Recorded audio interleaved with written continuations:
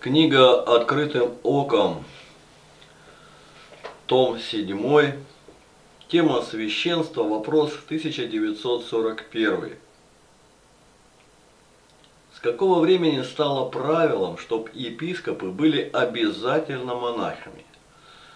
Может это и к лучшему, так как еще до того, как монах станет епископом, он много времени подвязается в монастыре, и становится кротким и спокойным, и с ним легче будет другим жить? Отвечает Игнатий Тихонович Лапкин. Теоретические благие концепции были бы оправданы, если бы практика хотя бы чуточку помогла в этих благих ваших рассуждениях. Появилось это заблуждение, что только монахи должны быть епископами рано. Уже в IV веке это был установившийся обычай.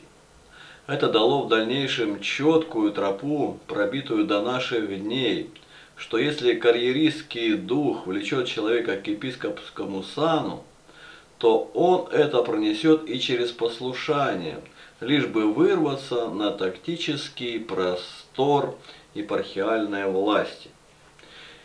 И вот он уже на кафедре. И тут из него полезла волчатина. Деяние 20.29. Ибо я знаю, что по отшествии моем войдут к вам лютые волки, не щадящие стада. Житие Арсения Тверского, память 2 марта. Между тем на родине блаженного Арсения в Твери возникли нестроения.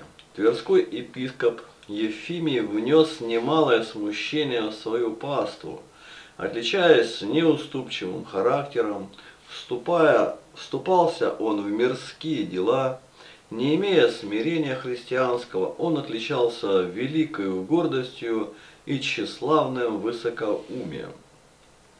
Своим поведением епископ вооружил против себя не только князя и бояр, но и духовенство, монахов и простых мирян.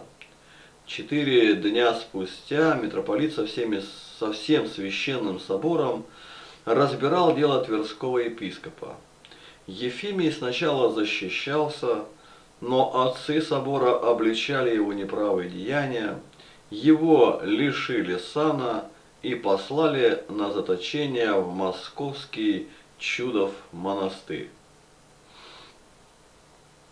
Житие святого Александра Неусыпающего, память 3 июля. Замечал преподобный, что епископ в делах своих поступал не соответственно своему званию. Видел он не по правде поступающими и воеводу городского и других важных сановников – и проникшись Илииной ревностью и вместе с тем, будучи преисполнен кротости, безбояненно и смело обличал, научая их правде от Слова Божия. Всем он был учителем и наставником, но не всем приятна была такая его ревность, особенно же начальствующим. Некоторые из духовенства, хотя и удивлялись его удовлетворительному житию, но весьма ненавидели его и возбуждали против него епископа.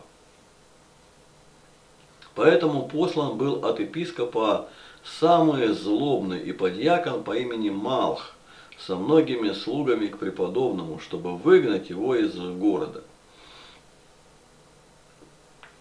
Епископ еще более воспылал гневом и советовался своей водою, который также был гневен на святого.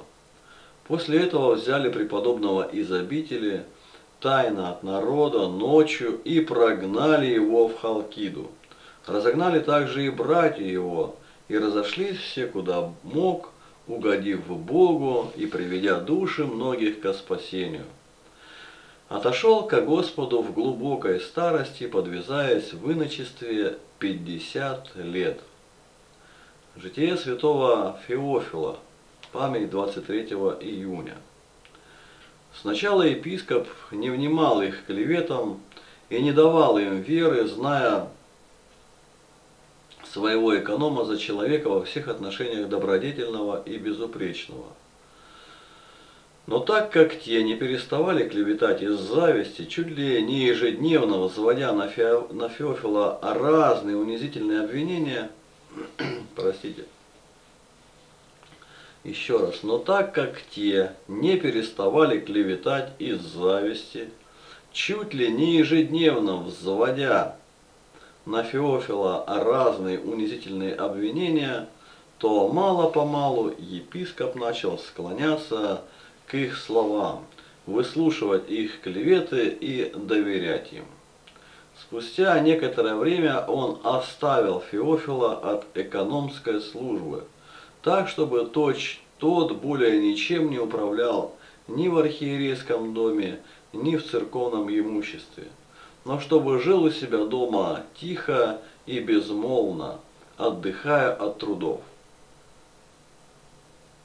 Экономская же, экономская же служба была поручена другому. Римлянам 10.17. Итак, вера от слышания, а слышание от Слова Божия.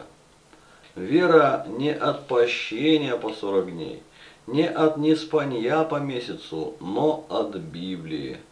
Жития описывают случаи с Авраамием, затворником, с Иоанном Коловым и другими, что они по одному разу вышли в мир и тут же приобрели падшие души.